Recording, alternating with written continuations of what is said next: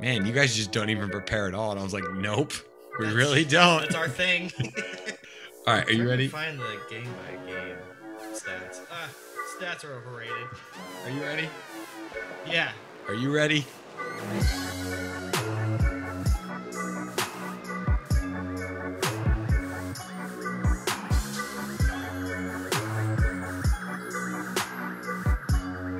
What is going on, everybody? Welcome back to another episode of the Team Morale podcast where we do our three favorite things talk a little bit of booze, a little bit of beer, and a whole lot of basketball. Ladies and gentlemen, the tall guy and I lied to you. We missed another week. Sorry. It happens. But the tall guy and I are back for another podcast, and we are joined this week by a very special guest, a friend of the pod. You've heard him before. His name is Big Mike, and he joins us again tonight. Thanks for having me back on, guys. Always happy to have you here, Big Mike. But yes, everyone, we are sorry. Life got in the way. We missed a week, but we promise that we probably won't do that again, right? We promise to try. We promise to try. We're just a couple of guys doing our best, all right? Yeah. Don't judge us too much. And uh, for those of you looking at us on YouTube, you might notice our background is a little different because I recently moved, hence, we missed last week. One of the reasons. So uh, I moved. We are in a new um, apartment in a different spot, so the recording might sound a little bit different. We're still in a work in progress, trying trying to soundproof the place. So it's a work in progress, but hopefully we sound okay for you guys. And uh, because we've got a lot to talk about this podcast, a lot has happened. Yes, it really has. We're officially in the finals now. The the apex of what NBA basketball is, what we talk about all year. Not a good time to miss a podcast, but hey, we're back again. But yes, not a uh, good time to miss podcast. But we are here to talk a lot about the finals. We thought we would give our takes on the finals in a fun way. Michael and Mitch have each created a list of their top 10 players in the finals. And we'll compare, contrast their lists and kind of just see who we who the big names are and who we think are going to make big impacts going forward for the next uh three games, next four games, depending on how many it goes How it goes. but uh, we are recording this Tuesday night, so you guys will see this tomorrow morning, Wednesday morning. So right before Game Four of a huge game where the Bucks try to even it up against the Suns, who currently have a two-one lead. Yeah.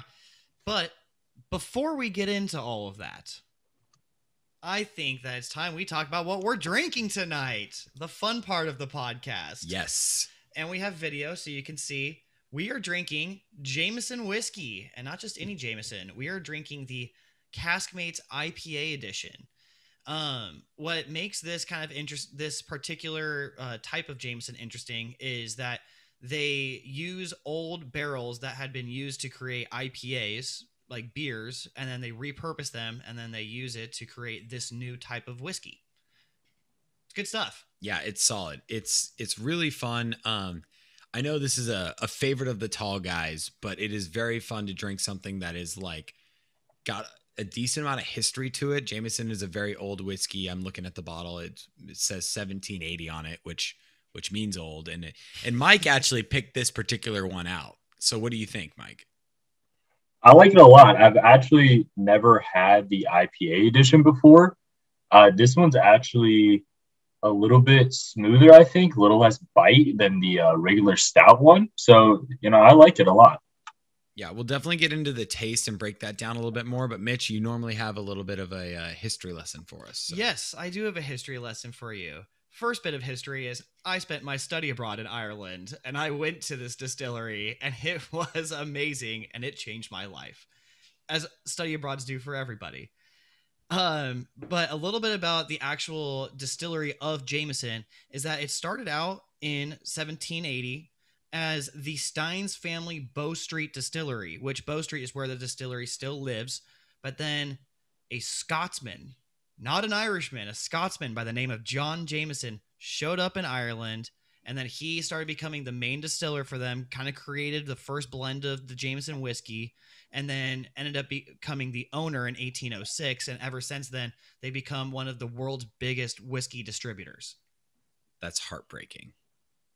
Right? Jameson is not an Irish person. It's not made. Yeah, Jameson, like the most Irish of names, is not actually an Irish dude. It's That is- Scotsman. Earth shattering. I'm okay. Yeah, but I'm sorry. not. Sorry to break your brains like that. But yes, that is that's kind of cool that like Jameson like is more diverse than I thought it was, given that it's got some Scottish roots and but it was based in Ireland and it had a different name, which is sounds like a mouthful of a name, to be honest with you. Like that sounds just yeah, I like I like. Jameson better. Wouldn't be drinking the Steins family whiskey, whatever it is. But Jameson is a beautiful thing. It's gone through a lot of like ups and downs. Um, when America hit the prohibition, they weren't like they couldn't ship into America, so they go to Canada. But then they uh, Ireland broke off from Britain, and then they were taxing and tariffing everything they were sending. And Canada is a part of the Commonwealth with England, so then they couldn't send to them anymore. So they actually almost went out of business. But we are happy to still have them and have them on the podcast today. Yes. Thanks, Here, Jameson. here. I love Jameson. Oh yeah. But getting back to basketball here, we have a, a pretty extensive list to get through. 10 names. I mean, two different lists of 10. So let's let's jump into this because we have a lot to get through. Um you guys want to start at 10 or do you guys want to start at 1? Let's start at one. Start at 1. All right, cuz I, I feel like that's you how I feel. I feel like you guys will have a lot more diversity towards the end. So let's start at 1. Michael, why don't you give us our most important player in the finals, the best the most marquee person to watch? Uh, number one, I got Devin Booker. I mean, he's the Suns' main guy.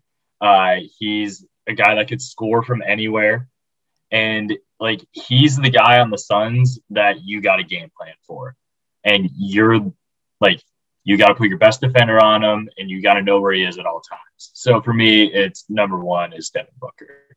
That's very interesting. So to clarify, we're going over like the best through the playoffs so far for these two teams. Like who have been the best contributors and like most important guys, right, Mike?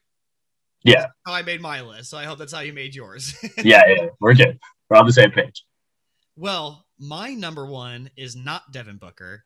My number one is the Greek freak himself, Giannis Antetokounmpo, because the Bucks are just nothing without Giannis. Like they're barely a playoff team. This guy has been putting up mad stats all playoffs long. He pretty much is like single-handedly handedly willing them into winning into like in, only winning one game in the finals so far but he's averaging like 36 points per games in three games so far and he's been absolutely killing it Yeah, absolutely stud. Uh Giannis has played very well. The best player in the finals so far. But that being said, Devin Booker has a very good argument here. So why don't you both get on your player's soapbox? Mitch, I'll let you start since Michael went first off the beginning and just convince me. Convince me why Giannis is the number one player in this series. all right my first argument is who won the last two mvps not this year but the two years before this Hold on. that was you most said valuable Oh, playoffs. No, no, You- you said I'm this kidding. list- Oh, uh, You, said you said this This list. Your you said yourself that this list was based on playoff performance and who's doing yeah best but I, right need, now. I need to preface the narrative of who All right. this guy is he Do you see the goalpost moving already? no it's Like he's already moving. hey, I'm setting the narrative, okay? Giannis is the two-time MVP. He's a defensive player of the year. We expect him to go in and dominate games. We expect him to be the best player in all of these series, to be the best player on the Bucks every every time. And there's been a couple of games, namely the ones where he was like actually hurt and gone, but a couple of games where he was not the best player on his team. With the Suns, you can kind of t- like pick and choose who is your best player in any given game. A lot of time, Booker's may be scoring the most, but he may not be the most important player on that team. Giannis is always going to be the catalyst that does everything for the Bucks. so basically, Mitch says he got hurt. He was an MVP, and Okay, his so name the- is Giannis. What I'm saying is he got hurt. And those are the only time when he wasn't the best player on his team.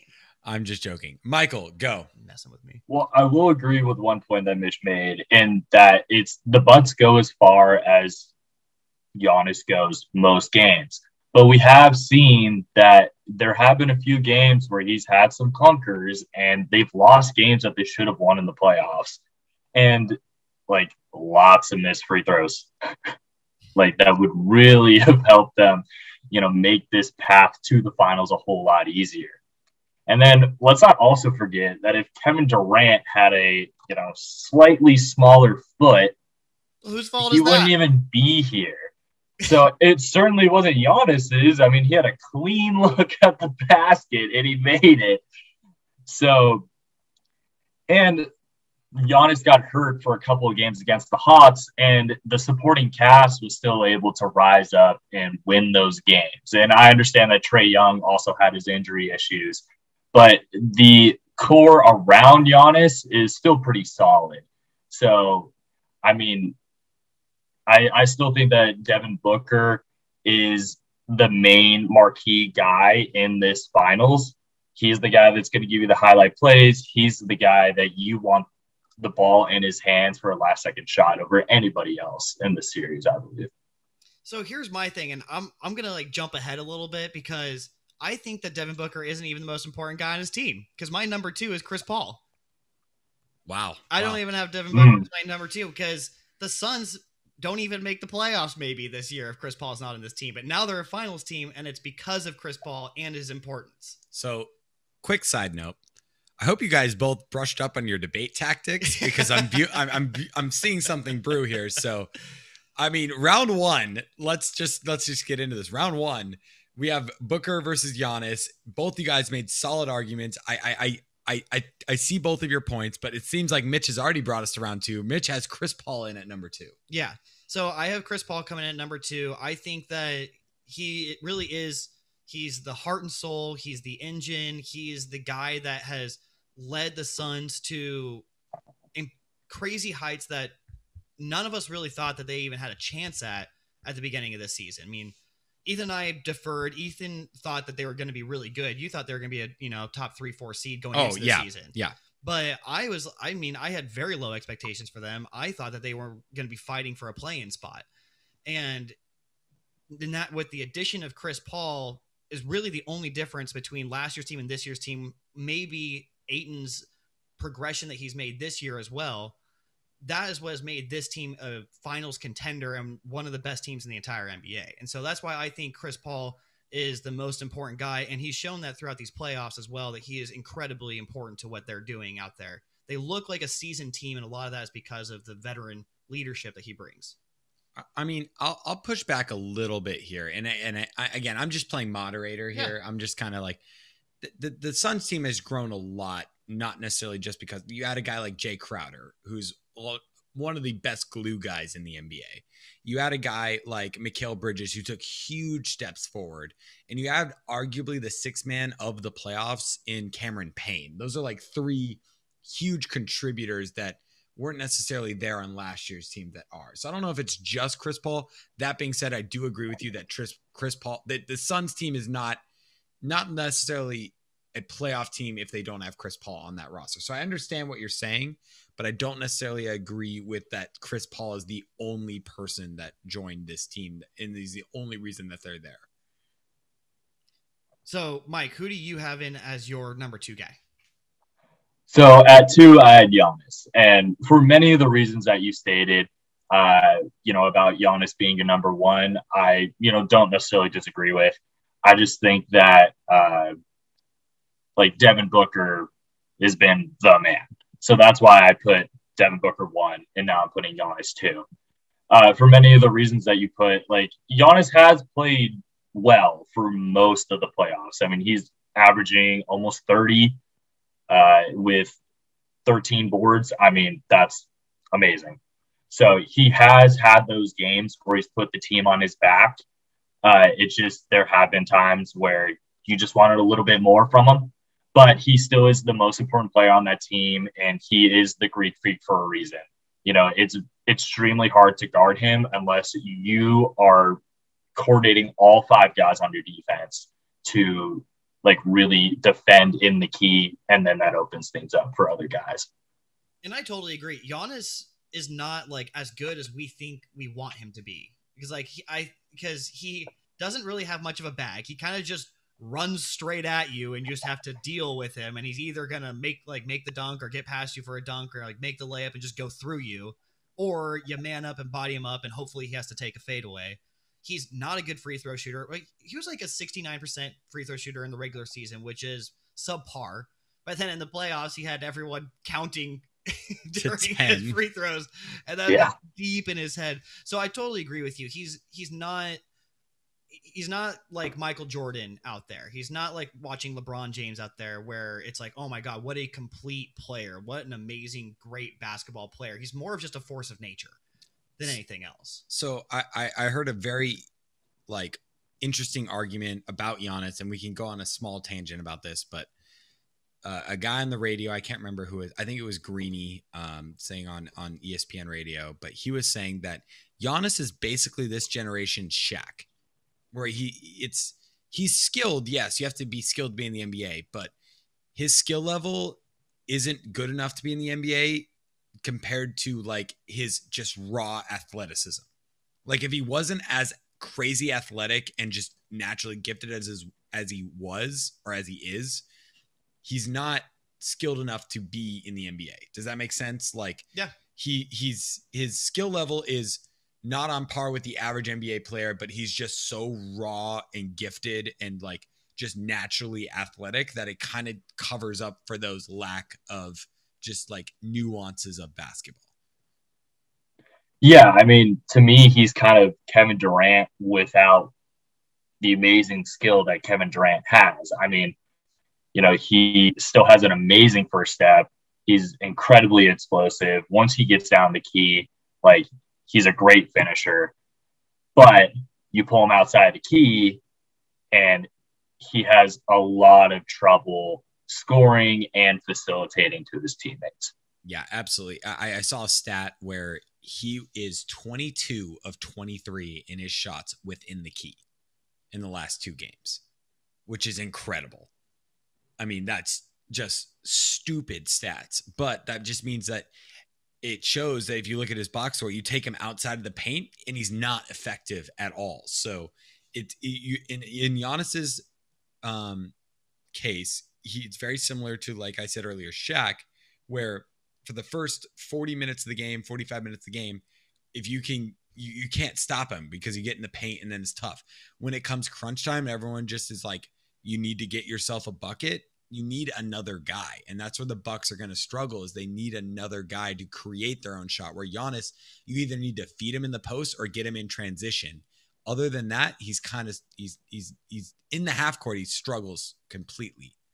But that is a tangent. But yes, what we were you Yeah, saying? well, this I mean that's actually something I've been saying a lot this last year is Giannis is the modern day Shaq. I mean, the 22 of 23 in the paint is a Shaq like stat. It's amazing and he uh he alters the way that the game is played. Certainly he struggles down the stretch because he can't just get his own bucket. He has that little like one-legged fadeaway that he does every once in a while.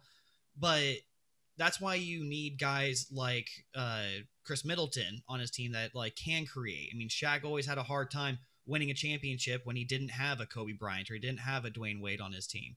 I still think that Giannis is the best and most important player in this series because if he has a bad game, the Bucks could just bl- get blown out by 20.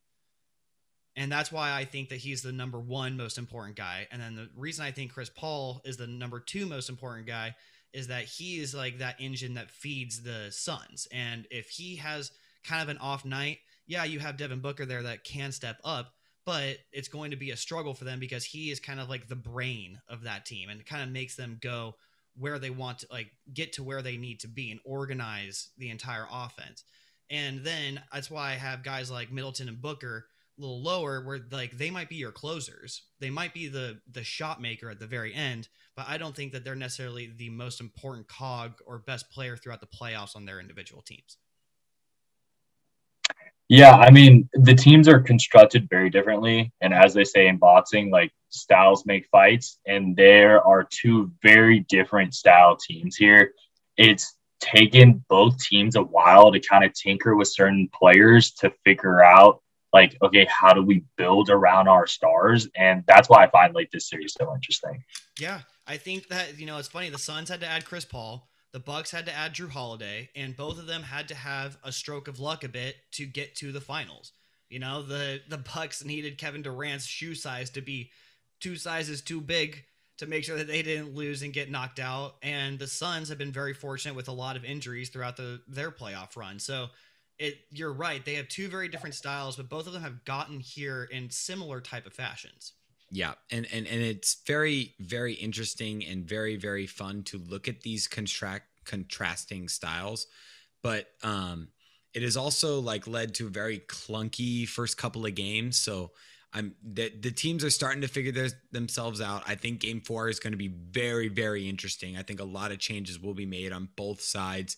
Just like game plan wise, defensively, matchups, all that. I think there's a lot to come. That being said, let's move on to your number three most or Michael, have you said your number two? Yeah, you said Giannis. So let's move on to your most important three, their third most important player in the series. Um, Mitch, why don't you start this time? All right. Um, my third most important guy was Devin Booker because I think that Devin Booker is the big time shot maker for the Suns. I mean, Chris Paul is only going to go out there and average 18 and 10. I mean, I say only, but that's amazing. He's going to go out there and average 18 and 10 or 20 and 10 and kind of orchestrate what's going on. But the guy who's going to put the ball in the bucket is Devin Booker. He is your go-to. Like we need we need a game-winning shot. Booker's our guy, and he's been nothing but amazing throughout this entire playoff run. He's he held the team up when Chris Paul went down due to the COVID protocols. He's really stepped up to the the stage for a kid that hasn't even been into the playoffs yet. Has been very, very um, I, am gonna say remarkable for what he's done so far, and so he's my number three. Yeah, it's it's so impressive how well he's played, and just the amount of composure that he's had um, through these playoffs is just incredible. And it his like we're seeing the blossoming of him and DeAndre Ayton in this playoffs to the point where I think the rest of the NBA needs to be on notice to where like you know you've got a young duo there that is absolutely filthy and dangerous. Yes, they needed Chris Paul to get this far. Yes, I agree that Chris Paul is probably the most important player on that team, but neither Booker nor Ayton have are, have even touched their primes yet and the fact that they're playing this well, it should put the NBA on notice and it should be scary. Yeah, absolutely. I mean, I think Devin Booker's been a star for a while. I just think he's been disadvantaged as far as just playing in a smaller market, uh, small market, even though Phoenix is a top 10 populated city. But as far as media wise, a smaller market. But DeAndre Ayton has really just had a coming out party in these playoffs. I mean, he was good his rookie year. He was solid. This year, he's been very good, but in the playoffs, he's been top notch. So I think DeAndre Ayton and Devin Booker will get a lot more publicity now that they've made this uh, playoff run, and you're going to see a lot more of that.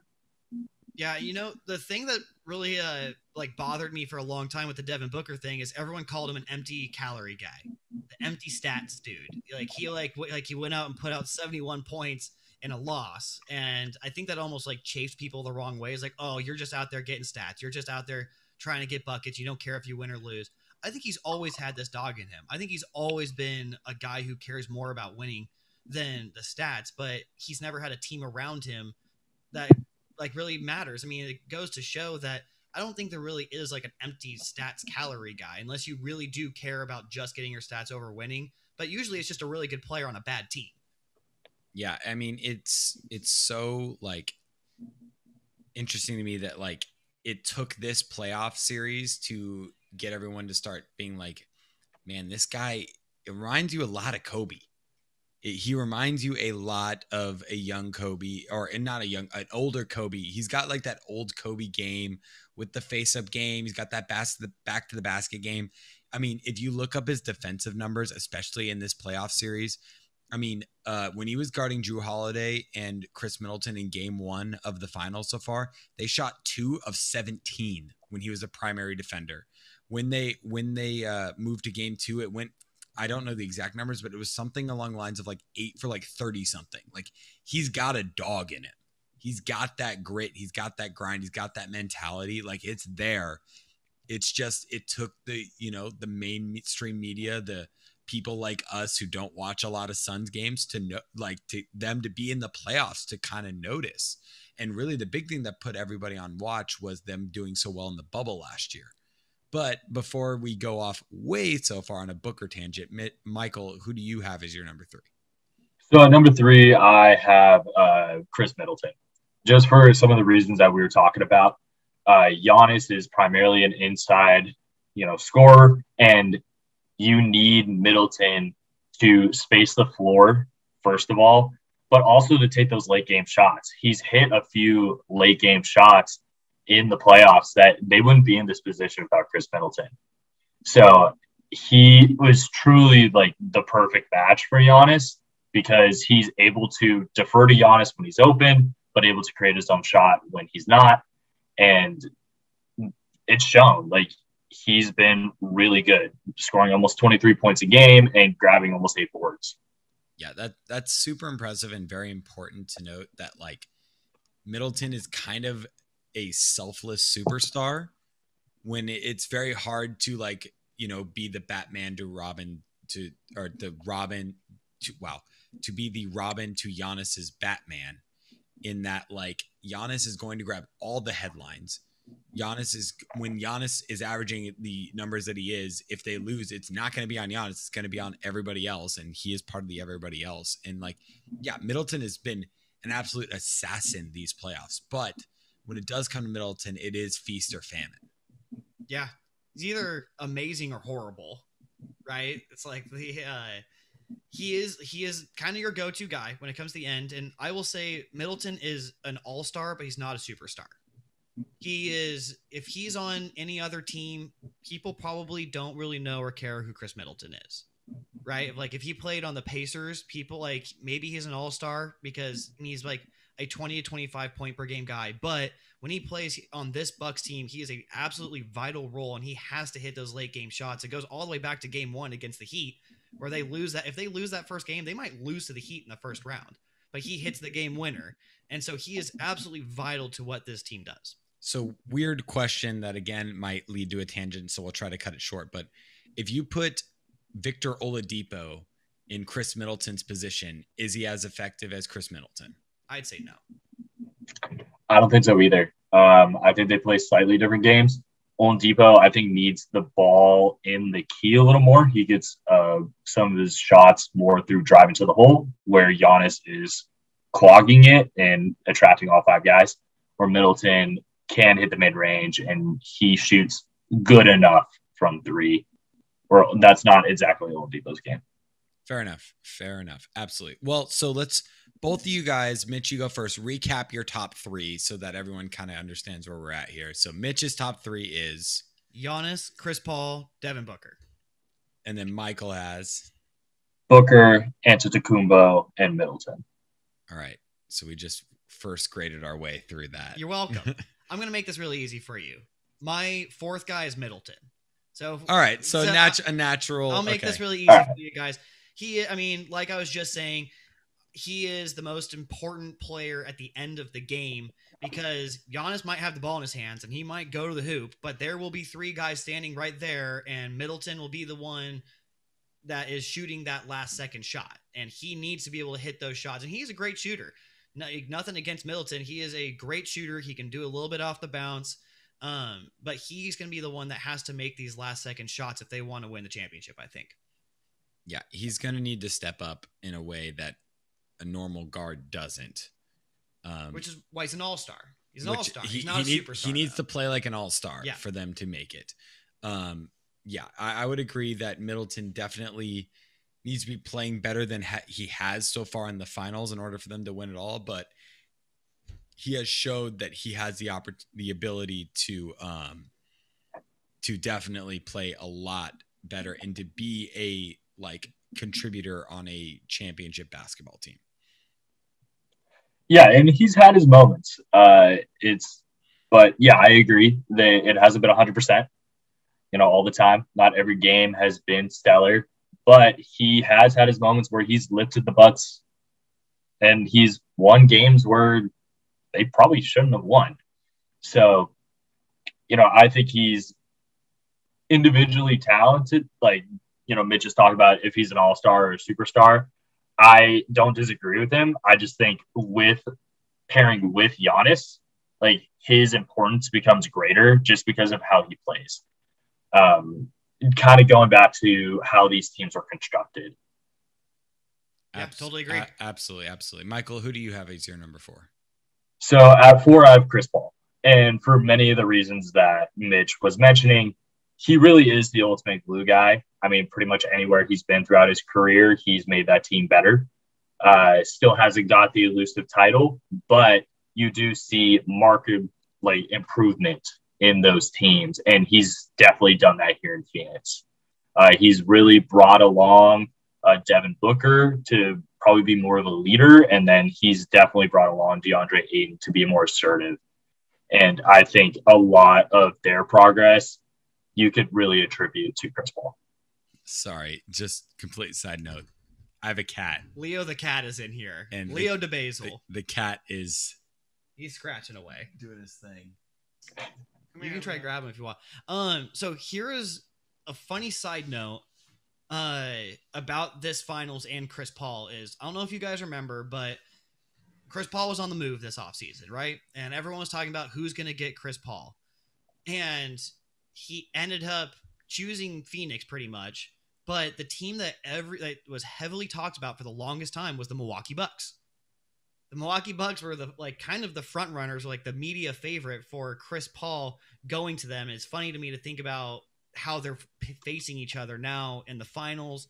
How much better the Bucks would be if they had Chris Paul? Because like you're saying, he he really is the ultimate glue guy. I mean, he's not the guy that's gonna go put up 30 for you every night, but your team is always gonna be better because you have Chris Paul on it. And so I, it doesn't surprise me that we have pretty much the same four players in our top four. Yeah, the, the fact that you guys are just trading players in the top four tells me that those top four are the top four. Um, they are the best players in this series. Two from each team, which is worth noting. I mean, I think I agree with Mitch saying that Chris Paul is basically offensive lubricant. He just makes everything on offense easier, and he's basically a coach on the floor um, during you know the other parts of the game. You know, defensively in transition when he's off ball, basic. But um, yeah, I, I- let's let's get one more player off the board before we take a break here, and let's let's uh, we got to kind of pick it up because at, per usual we are uh, We're going over. we're again. going over, we're going long. So Michael, I'm interested to hear who's your number five because there's really two guys here to choose from. I would agree. There's two guys, and I picked DeAndre Ayton. Uh, has really had a huge coming out party uh, here in the playoffs. He's honestly just been incredible. Uh, almost 17 points a game, 12 boards, and then his defense has been great. Uh, he played very well against Anthony Davis in the first round before Anthony Davis got hurt. He played very well against Jokic, uh, this year's MVP and then he's been right on the other side of all those lobs. So he's been great. yeah, he he DeAndre Ayton has found himself in a position to where he is becoming max type of player, and it took 15 playoff games for the uh, regular media to be like, oh wait, this guy's really worth being the number one overall pick because you look back at that draft, it was him, Bagley, Luka, and Trae Young were really the top guys, and Jaren Jackson. and Jaren Jackson were, uh, were up there, but like those five guys, and then but it was like Luka and Trae Young were like the two standouts, and then it was kind of him and Jaren Jackson, and then Bagley being the the bust, but he has solidified himself as part of the best part of that draft class, and has just been an absolute stud, definitely worth a, a max. Yeah, you know, DeAndre Ayton, his rookie year, definitely got overshadowed by the whole, oh, wow, Luka's already a superstar thing. The great, fun numbers that Trae Young was putting up and got overlooked a little bit. But the big thing that everyone had issues with, with DeAndre Ayton, was uh, his defense. Everyone's like, oh, well, okay, so you can shoot. You have a nice touch. You got a nice little post game, but you should be a great defender. Look at how big you are. Look at how athletic you are. Look at how smart you are. Like he knows the game really well. It's like, why are you not a better defender? And that was the thing that plagued him for a long time. And it's fun to see the quotes coming out right now about how much Chris Paul has been the the best thing that ever happened to him in his career, and how much he loves Chris Paul and how important he's been to him. Um, I think Chris Paul's really taught him the game a little bit more and how to see it as a big man on the defensive side because that is you're right, where he stepped up huge in these playoffs, being able to guard Nikola Jokic, being able to guard Anthony, you know, the the stable of big men that the Lakers were throwing at him, like being able to go out and play. And he's pretty much one and oneing Giannis this entire series. And the the strides that he has made this year, you're right, he has got to be a max player. You have no choice but to max him because someone else will if you don't. Big men are all of a sudden really important in this league, as we've seen in the last couple of playoffs. And he is just showing himself to be better and better, and he's not even scratching scratching the surface of like what his talent actually is. Yeah, the the guy is an untapped potential, super super super malleable, like like Clay, you can kind of mold him into anything you want at this point. He's kind of good at both sides of the ball at this point. He, yeah, he's actually a very unre- unrelated, well, underrated passer, which is very important and all that. Um, but yeah, you you talk about his defense night and day compared to this year to last year. Yeah, yeah, totally agree. And I think that he has best big man in the NBA, almost MVP type potential. Yeah, I would totally agree. I mean, you just look at him and he he's a beast. I mean, he's super big, but also super chiseled. Like he has the yeah, he has the body to play in the modern day NBA, and uh, I think part of it is he just was in Phoenix, and so until Phoenix made this run, people kind of forgot about him. But he's always been uber talented. Uh, I was lucky enough uh, to see him in person uh, at Arizona, and you know he did the same thing there. I mean, he's just a freaking nature, and it's it just taken him a little bit of time to figure it out. But you know, we're seeing that now in the NBA at the end of the year too. For those of you watching on YouTube, you can see our uh, social media guru. That is Mac. She's in the background. I think she's trying to get Leo. She's stealing oh, Leo. She's us. stealing the cat. You can. There, Leo there she goes. Basil, don't leave. There's the cat running away. Oh, she's running away. Okay. Fun side note. I'll, I'll, I'll, I'll just randomness on the Team Morale podcast. But yes, that Michael has DeAndre Ayton coming in as number five. Mitch, who do you have? DeAndre Ayton is my number five. Wow, that right. number Yeah, five you want- very easy. Is that the first one we've gotten? The same. the same? Yes, that is the first we identical number. That's Um, a nice way to like, DeAndre tidy Ayton. it up. I honestly, as a like guy who didn't make a list, I would have. I think DeAndre Ayton at five is a very good number for him. Yeah. I think I think it's very. I think you have your top four players, the top two on each team, and then I think DeAndre he's the best is- other in the series. I think the other other, which we'll talk about after we talk. We about will, yes. Uh, is also very important. Though. Yes, yes. But before we get into that, wow, hold See that on. natural transition there. But before we do, Hey, looks good on you, baby. let's talk about what we're tasting in this Jameson. Um, I will say it is lighter than your average Jameson. I, I I- I've had a lot of Jameson in my day. You're welcome. A little ASMR sec- eh, Also, ASM Edison. We introduced him last podcast. Uh, A new little member of Team ago. Morale. New member of Team Morale. He will be back again. But yes, he is the king of pouring stuff while we do stuff. But yes, it is much lighter than your uh, average Jameson. It even has like notes on the bottom of the bottle of like what it's kind of supposed to be. So it's crisp citrus, light hops, and floral aromas. Do you like it, Michael? I do. And usually when you think of Jameson, you think of like really dark, uh, bitter, you know, something that's really going to have a lot of bite. And you don't get that with this Jameson, but you still get like that punch that you want when you drink, you know, a little bit of Jameson. And you can definitely tell that, you know, it was more of a fruity IPA that they put this Jameson into and it definitely gives it definitely a lighter taste, a little more citrusy, and then uh, yeah, definitely not a stout like you're used to. I I would agree in that like I can kind of taste like the hops of like a like hazy type of IPA type Yes, thing. Like you you can tell that they made this and again Mitch said this I think off mic um that you it was made to be like tasted af- while drinking an IPA you're supposed to like kind of mix the two and I can see that it would pair very, very, very well with like a juicy, hazy IPA.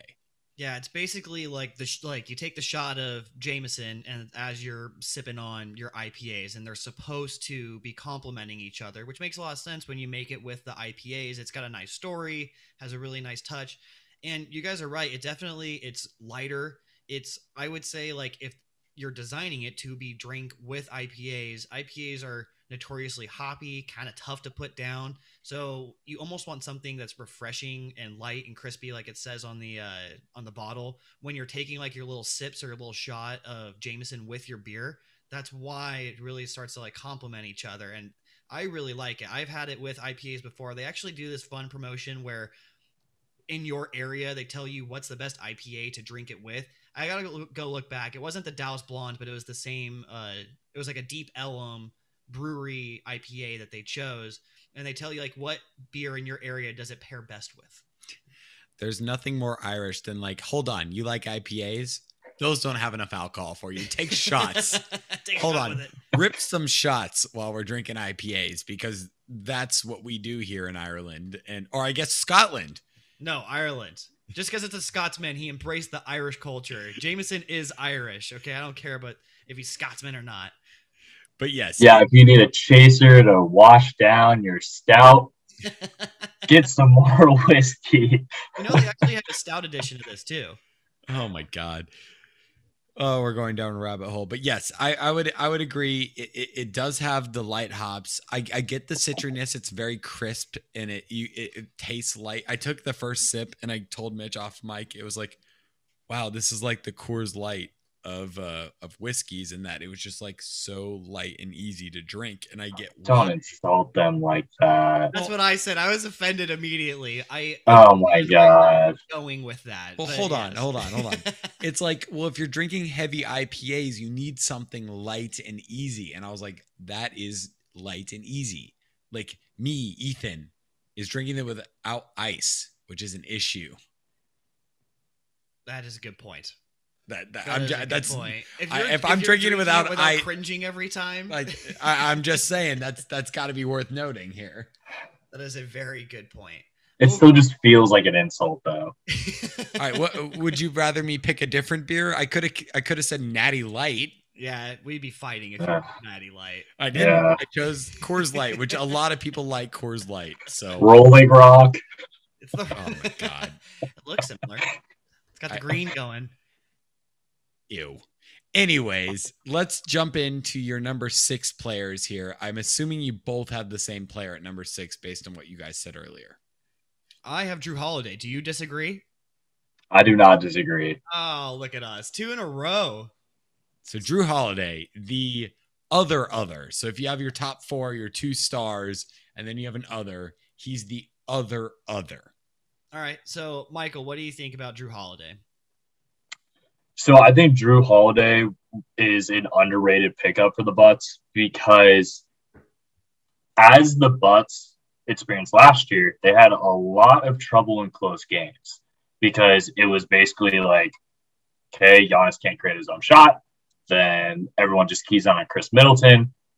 And bringing in Holiday really allowed them to go to the strategy like they've done this year and to really play this ball movement type of game late in games because Jrue Holiday is a good passer.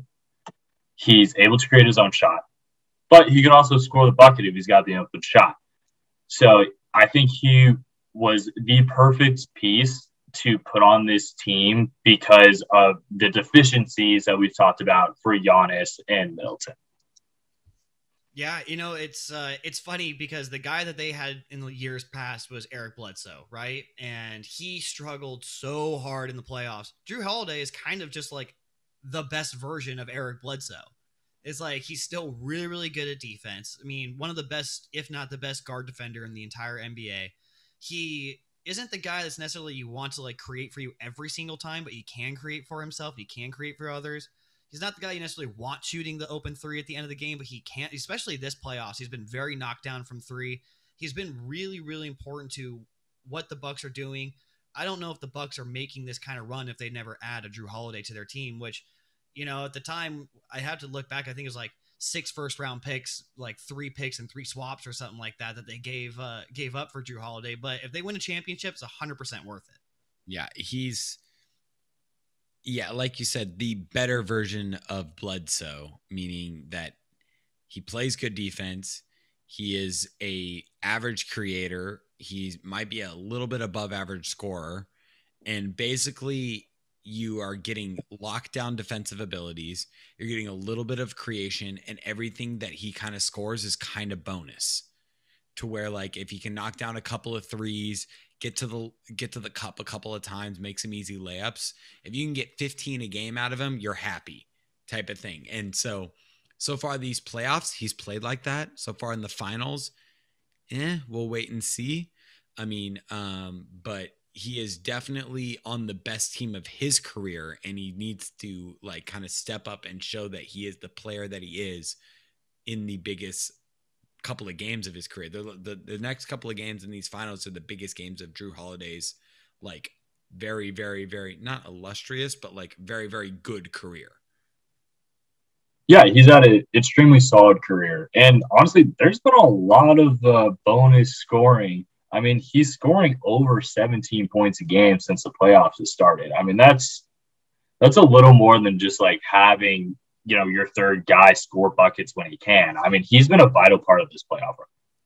Yeah, abs- I mean, absolutely. And I think that's that is the big upgrade that they made this year was moving on from Bledsoe and getting Jrue Holiday. And he has proven to be worth every penny of it because here they are sitting in the playoffs.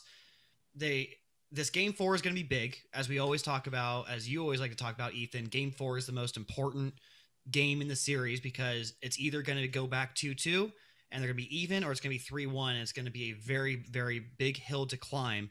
But because of the addition of Jrue Holiday, the Bucks are even in this situation in the finals. They couldn't get past the second round with Derek Bledsoe being their starting point guard. So I think Jrue Holiday is the other other guy it, to me, it's still really close with him and Ayton. Ayton is the more fun guy to talk about because of his progression this year, but both of them are ma- vastly important to their respective teams. And now we get where it gets interesting because my phone now I forgot who what either, the order is here. Bo- both teams have a big three. The Bucks being Giannis, Middleton, Jrue Holiday. The Suns being Booker, Paul, Ayton. why don't before we get into the next three, why don't each of you guys say your top six real quick, just to remind everybody who your top six is. Michael, you go first. So at number one, I had Booker. Number two, Antetokounmpo. Number three, Middleton. Number four, Paul. Number five, Ayton. and then number six, Holiday. And mine's a little bit different, a little bit the same. Giannis, Chris Paul, Devin Booker, Khris Middleton, DeAndre Ayton, Andrew Holiday.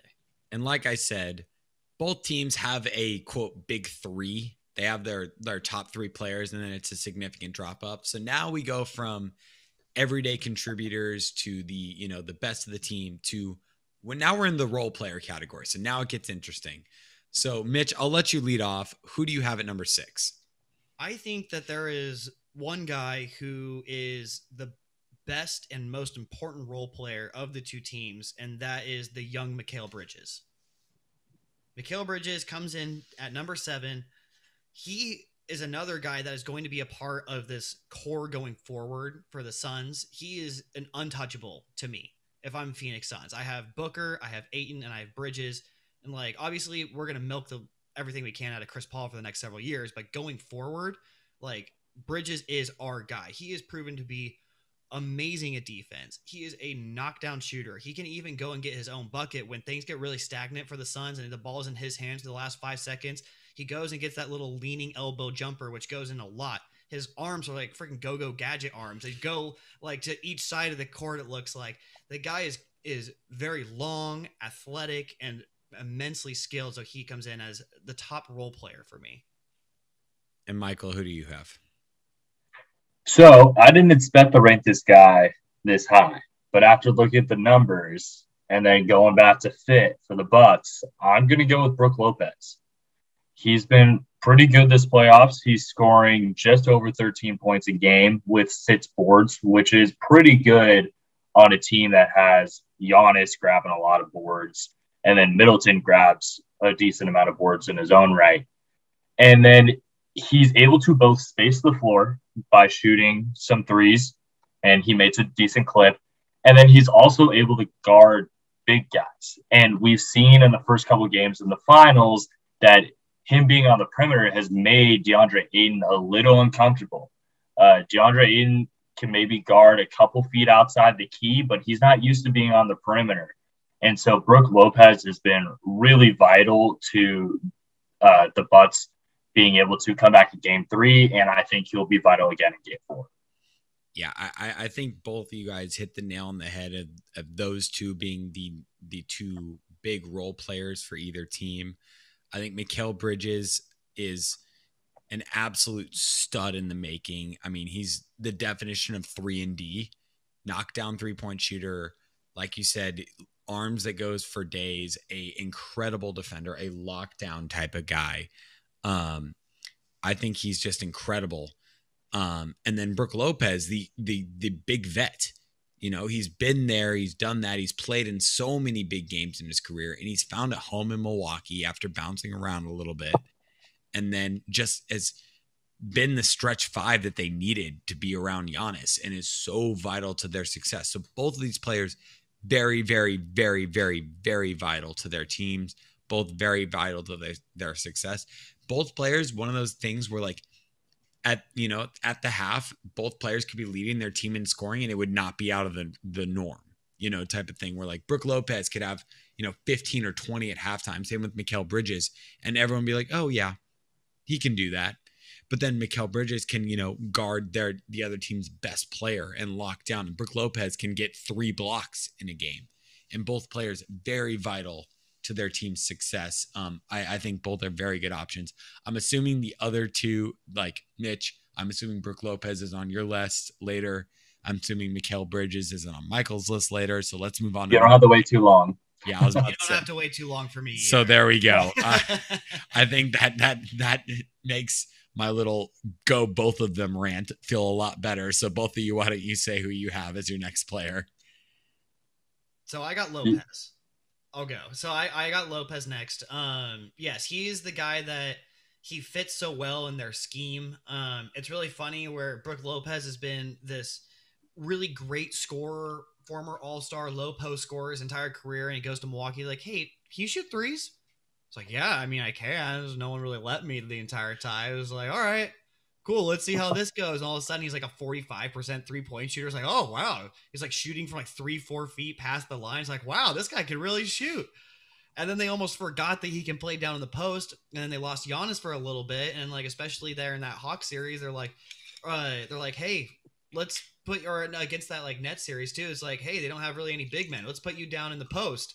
And then uh, all of a sudden, it's like, oh yeah, that's right. He has this great low post game also, and so he's just like you were saying, really important to the scheme of the team, being able to extend the floor, being able to guard centers when Giannis doesn't want to, being able to allow Giannis to do his thing, go clog the paint, and go bull bull rush the rim. That's why he's really really important. Yeah, and you know, kind of the same thing that Mitch said about Mikal Bridges. Uh, he's been really good, and he's brought great energy to a Suns team. Where you know, in the beginning, you know, Chris Paul got hurt, but Mikal Bridges came in, and it didn't always show up in the stat sheet, but he brought great energy and really got the team going. Uh, the reason why I put Brook Lopez over Bridges is just because Lopez has a few more points per game and a few more rebounds per game. But I was going back and forth between these two guys for pretty much all the reasons that Mitch stated earlier. And so there goes that that each team has like their go-to couple of role guys. I mean, you have Mikal, you have Brook Lopez, you have Ayton, you you know, you flip-flopped a couple of them, but and and yes, one might be better than the other and we can get into that, but that would make this podcast too long. So We're moving on. Too long. So moving on. I think this would be our eighth This is nine. Nine, yeah. nine. nine? Oh nine my god, 10. we're already at nine. Okay, so we got two more. So now now we're into the crapshoot territory because I- have no idea where you guys are going to go. Michael, why don't you go with your number nine player? All right, so number nine, I have a guy that has honestly been a personal favorite of mine for a long time, just because I love like the way that he plays. and just the toughness that he brings, and that's Jae Crowder. Uh, he's been extremely important to the Suns team, really gives them an edge off the bench that they really need. He plays solid D, and then he could also give you some buckets, you know, here and there. I mean, he's scoring just over 10 points a game during the playoffs and grabbing about four boards, which off the bench is all you could ask for. I mean, he's he's a quintessential energy guy off the bench. Yeah, he is a, a glue guy. Um, he is definitely very, very important to what the Suns do. I call him less douchey Marcus Morris, but that's just a personal thing I decided. it might be just because the Mavs drafted him, but I just call him less douchey Marcus Morris. Um, but yes, I think he's very important to what they do. He knocks down just enough threes where you have to respect it. He brings that grittiness, that toughness. He's the guy that they're throwing at Giannis a lot of the time. Yes, they throw Ayton, Ayton at him as well, but when Ayton's not on the floor, they're throwing uh, you know, Jae Crowder at him. And he's been that like grit and grind type of guy um, on every team he's been in. He's played for a lot of teams. So he's he's the quintessential guy of like good enough to keep around, but not good enough to really keep around. So like he's very valuable and he's been in the finals the last two years. So that can't go unstated. So a very good player at number nine. Mitch, who do you have? So you know what's funny is when you were describing your guy, a guy that I've liked for a really long time, a really hard worker, tough nosed guy, like my like I was like, oh, he's gonna go with my guy, which is PJ Tucker. which I, is also a less douchey Marcus Morris. Yeah. So there you go. uh, I've all, I've liked PJ Tucker for a really long time. When I was going to school, um, living in Phoenix, he's actually playing for the Phoenix Suns and was arguably their you know one of their top two three best players was like Goran Dragic, which is kind of funny to see him playing for the Bucks playing against the Suns. Um, but he has been nothing but a consummate pro everywhere he's gone he went to the Rockets. They're like, "Hey, can you play center?" He's like, "Well, I'm six five, but I guess yeah, let's give this a go." Uh, and now with this team, he I have him above Jae Crowder for the reason of I don't know if they can really get by the Nets if Jae Crowder or if PJ Tucker isn't right there in KD's shirt every single time. Obviously, Kevin Durant's going to go and get his regardless, right? But he was the guy that they are throwing at all of the best players, just as like almost like what Pat Bev was, or it's like he's just the gnat. He's in your ear all the time. He's super strong. He's always moving you out of his out of your spot. His points or his stats might be a little bit worse than Jae Crowder's, but but like what he brings to the court, I think is really really really important. Which is that like toughness, veteran leadership, able to hit the cor- that left corner three. Man, he has made a lot of money because he can make a left corner three and I I want I if I had to choose between the two, I love both those guys, but I think right now I'd rather have PJ Tucker on my team than Jae Crowder. Yeah, I, I again another solid pick. Uh PJ Tucker, the shoe guy.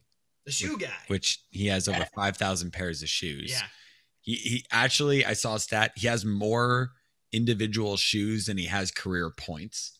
I believe it. which is a wild stat but yes, he has more shoes than he has career points. And think about all the threes he's made.